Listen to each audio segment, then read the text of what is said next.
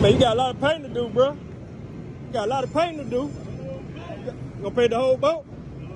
Only the. Just little pieces of it, a little rusty part. Yeah. Okay, okay.